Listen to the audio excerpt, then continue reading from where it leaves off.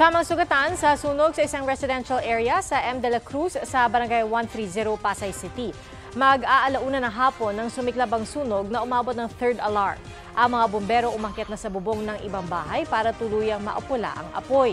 25 bahay ang nasunog at nasa 60 pamilya naman ang naapektuhan. Ayon sa Bureau of Fire Protection, aabot ng 450,000 pesos ang halaga ng pinsala ng sunog. Iniimbestigahan pa ang sanhi nito at tuluyan itong naapula pasado alas 5 ng hapon.